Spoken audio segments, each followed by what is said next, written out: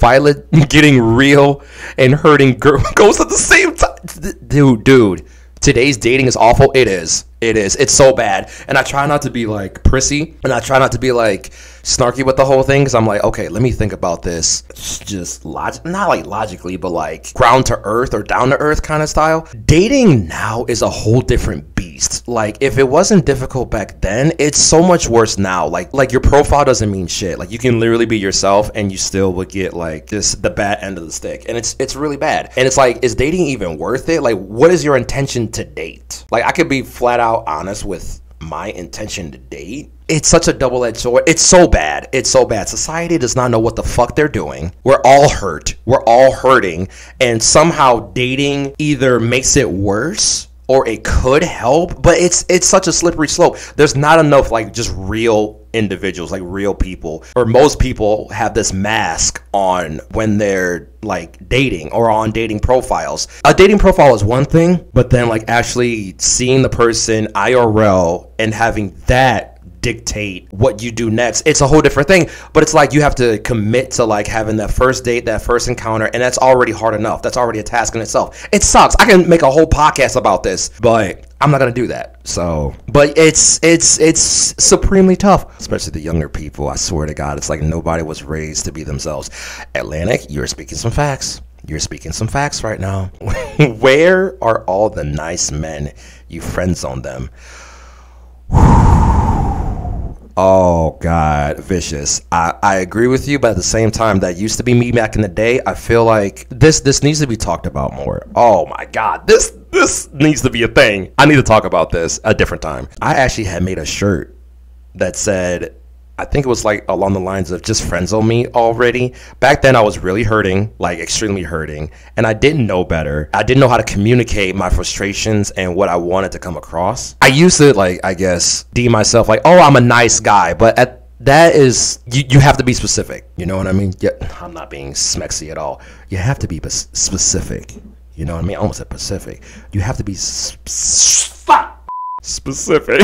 I'm a nice individual. I'm a nice person because any dude can be a nice guy, but they'll lure you in with bullshit, and you know, then it's then it's rough, then it's hard. You know what I'm talking about? Yeah, you can be a nice guy. How about be a nice person? How about don't be a piece of shit? You know what I'm saying? Be a nice individual to yourself first and foremost. I'm gonna be honest.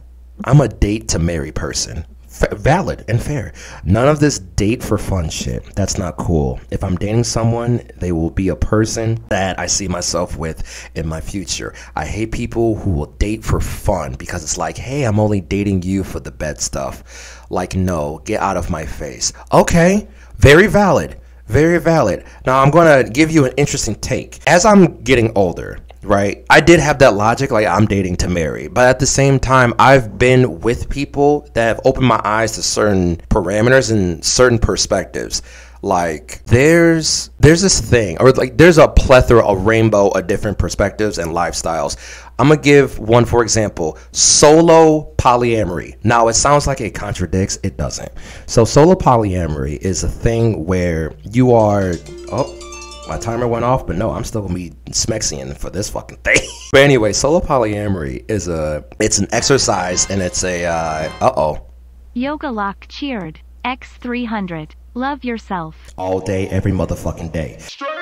Yoga Lock, thank you so much for the 300. You, you we have our talks IRL, Yoga Lock. The, Yoga Lock is an IRL friend of mine, and we have our talks whenever we hang out about stuff like this. So, solo polyamory is one of those things where you you don't date other people necessarily. Take like think of it this way: you were with someone that you were in a monogamous uh, committed relationship with, but you soon find yourself you're doing literally everything together, and you lose yourself of individuality. Let's say you're committed to your work too, like you want to do like you want to further um, expand or extend your uh, career aspirations, right? But you don't want to like lose the relationship, right? Not in fear of that, but it's like, hey, I'm committed to you. It's like me not streaming because I'm with somebody. I love to stream. Streaming is my passion, and the person that I'm with is gonna have to know that beforehand. Now, if they understand that, they're gonna know that, oh, I take my job seriously, but I also love you, committed to you, and you know, we're not gonna be doing everything together because obviously, like for example, I'm streaming right now.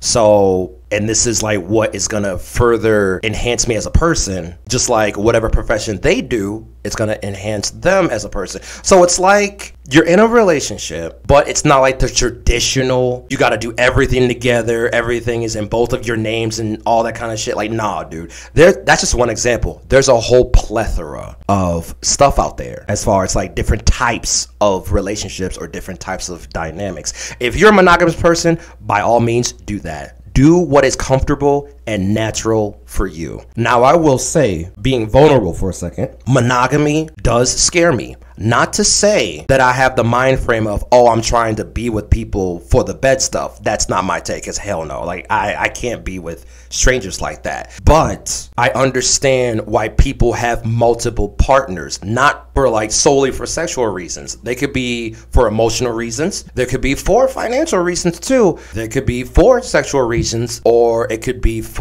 comfort reasons or whatever. But as long as everyone is safe, knowledgeable, communicative, and everything is good, it could work. It's not talked about as much, but I do understand the intent for polyamory. And it could be like both people are polyamorous, one person could be monogamous while the other person isn't. You know, it's whatever works for them, for the people involved, that's what matters. This is very long. I do apologize, but I can I can talk about this a lot because my eyes were opened over the last several years of like, you know what? I can see how this can be beneficial to certain individuals. This is not for everybody either, but cater what goes and what works for you. And don't let society or anyone else fuck up your good shit because the world is trying to fuck up good shit. You know what I'm saying? So, all right, rant over. I will always respect people who do polyamory because I know I'm not built for it. You know, it's not for everybody it's not for everybody. It could only work if the people involved are willing to make it work. And let's say they're open to it and it doesn't work out. That's okay. Now you know. You know what I'm saying? Like it's better to try and see versus like my thing is like don't judge other people for their preference. You know what I'm saying? When I was younger, not knowledgeable, obviously, I would be like, people in polyamory, like, oh, that person must mean like they want to cheat or like just have, you know, whatever. It's just like, no, some people actually, let's say their main partner is not emotionally intelligent, but someone else that, someone else that the other person knows is emotionally communicative or intelligent. The thing about polyamory is that you would like to have everyone involved knowledgeable of like whom you're with. You know what I'm saying? It's all about communication. You gotta talk about it. You gotta be communicative and see what works and see what doesn't work. And and that way you have a better understanding versus like, oh, that's wrong. You, you you're saying it's wrong because it doesn't work for you. You know, you're not that person. Wow, this is really long. I'm sorry, y'all. I always say you do you do you as long as no one is getting hurt. Exactly. 1000. Next podcast soon. I would totally engage in a polyamorous relationship only if everyone loves everybody equally. True. True, that would be like the best outcome. You know, it, it, depends. I respect people who will be poly just as long as they don't pressure me into it. Yeah, absolutely. You don't want to be pressured into it either. If it's not for you, let that be known. Let that be known. Your voice needs to be known for that. I had a friend who was in a poly relationship after a bit. They started to tell me that I should get into it.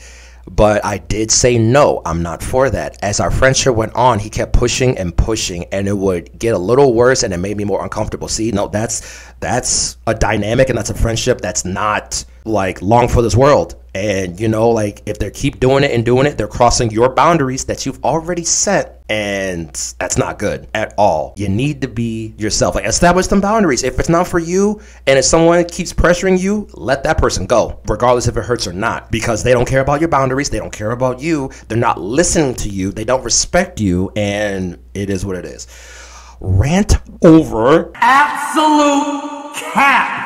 Damn, this text message literally spawned this entire thing. S tier rant. again, I could talk about this a lot because I'm not saying I know everything because I do not. But I'm willing to know more and understand more because, like, everyone's different. And I'm like, you know, what may not, what I thought probably wouldn't work for me might work for me. Or being knowledge of like maybe I don't know what I want or where I'm supposed to be, but learning from someone else and getting their information or their perspective or their insight could unlock some things for me, which it has. So, you know, there you go. I'm done. I'm gonna, let me switch to my other microphone.